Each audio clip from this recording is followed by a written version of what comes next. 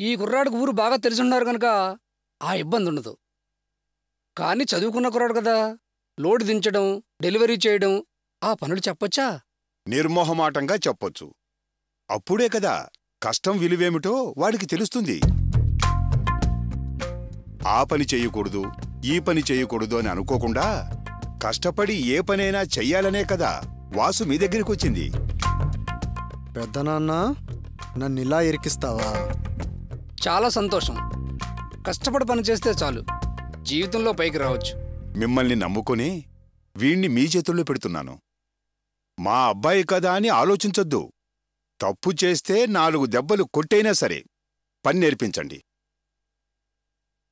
వీణ్ణి ఎల్కేజీలో జాయిన్ చేసినప్పుడు టీచర్తో ఏం చెప్పానో అదే ఇప్పుడు మీతో చెబుతున్నాను.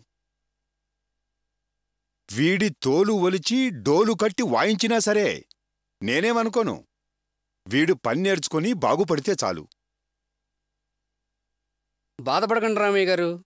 కుర్రాడిని నాకు అప్పచెప్పారు కదా. చూడండి తనే పైకొస్తాడు. ఈరోజు సిటీలో ఉన్న పెద్ద పెద్ద షావుకర్లు అంతే ఎవరు? ఒకప్పుడు నా దగ్గర దెబ్బలు తిని పైకొచ్చిన వాళ్ళే ఆ? నా అస్తవాస అలాంటిది. కుర్రాడు పైకొస్తాడు. మీరు ధైర్యంగా ఉండండి. చాలా సంతోషం శ్యామలరావు గారు. ఒక శిలగా వీణ్ణి మీకు అప్పజెబుతున్నాను.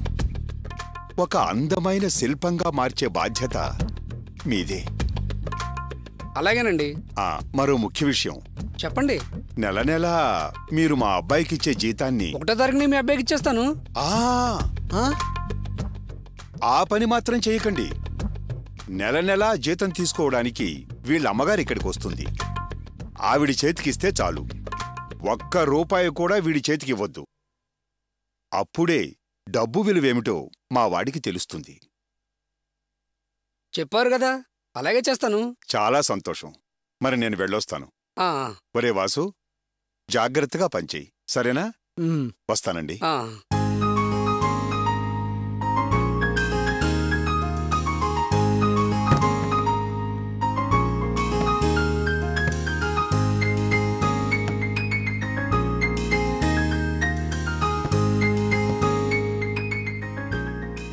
రేయ్ ఈ కుర్రాడికి ఏరియా అంతా బాగా తెలుసు. నీతో తీసుకెళ్ళు. అలాగేనయ్యా. వాసు వాడితే వెళ్ళి అన్ని షాపులకి వాటర్ క్యాన్స్ ఇచ్చి ఖాళీ క్యాన్స్ తీసుకుని అలాగే డబ్బు వసూలు చేసుకుని తీసుకురా. సరేనండి.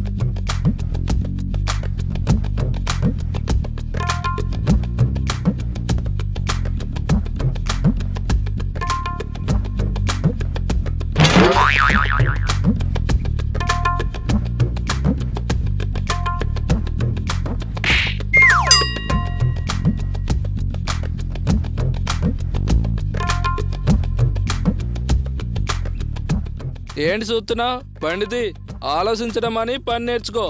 నీతో నాకు పెద్ద తలనొప్పిగా ఉందే. స్టైల్ చూడు స్టైలు. ఆటో వచ్చా? ఆ, వచ్చు.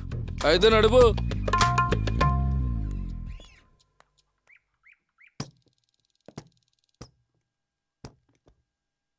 ఒరే వాసు నీ పరిస్థితి ఎంత దిగజారిపోయిందిరా. ఏయ్ ఏంటయ్యా ఆలోచిస్తున్నావు? పోనీ.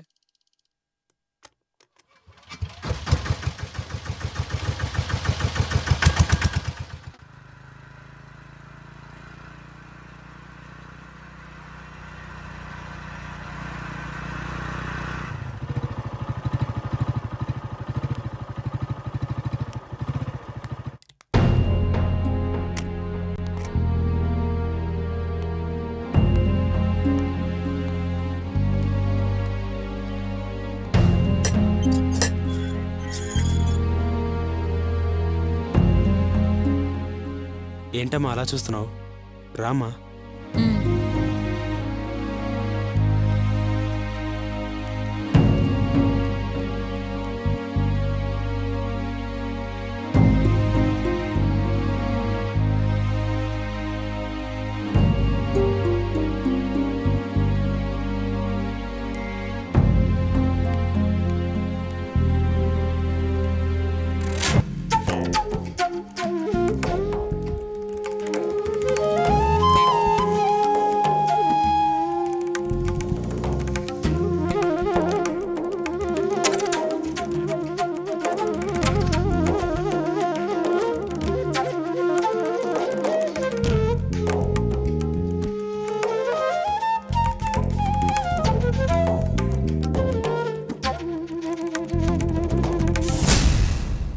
సార్ నాకు పెళ్ళి కుదిరింది.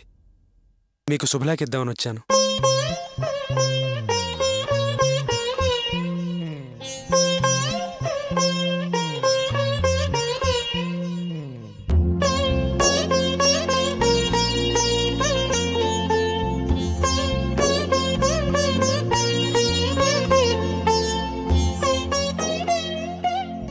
ఇదిగోండి సార్.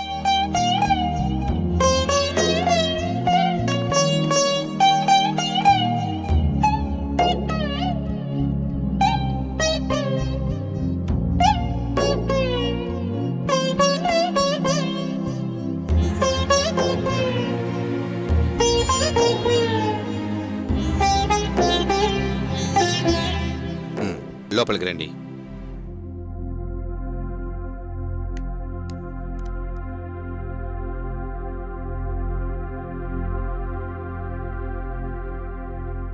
రామ్మా.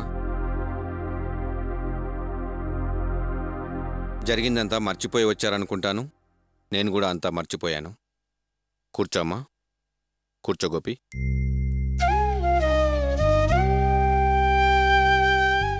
ఆ, పెళ్ళి కూతురు ఎలా ఉంటుంది? చదువుకుందా? ఉద్యోగానికి వెళ్తుందా సార్ పెళ్ళి కూతురు నాన్నగారు డాక్యుమెంట్ రైటర్గా పనిచేస్తున్నారు. అన్నయ్య ఫైనాన్స్ కంపెనీలో పనిచేస్తున్నాడు. ఓహో. ఆ అమ్మాయి టెన్త్ క్లాస్ వరకు చదువుకుంది. ఉద్యోగం ఏం చేయదు. ఇంటి పనులన్నీ బాగా చేస్తుంది. చాలా మంచి అమ్మాయి. మా అమ్మ అలాంటి కోడలు రావాలనే ఆశపడింది. చివరికి మా అమ్మ అనుకున్నట్టే జరుగుతోంది. ముహూర్తాలు పెట్టుకున్నాం. పెద్దవారు చిన్నప్పటి నుంచి గోపికి మీరే ఆసరాగా ఉండి ఎంతో సాయం చేశారు. వీణింతటి వాణి చేశారు. గోపి సంపాదన మీదే మా కుటుంబం ఏ లోటు లేకుండా హాయిగా ఉంది. అందుకారణం మీరేనండి. అందుకే మొదటి శుభలేఖ మీకే ఇద్దామని వచ్చాం. అవును సార్. నేను ఈరోజు మెకానిక్ షెడ్ పెట్టుకుని మేమందరం బాగున్నామంటే దానికి కారణం మీరే. మీరే దగ్గరుండి నా పెళ్ళి జరిపించి నన్ను ఆశీర్వదించాలి.